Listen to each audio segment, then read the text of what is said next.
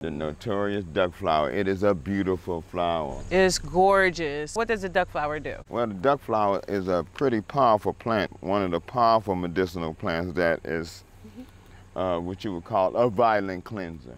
But taken in small doses, it's a really good, powerful flower. We're going to be going to China, Africa, Indonesia, South America, Central America, looking for the best herbs that we can find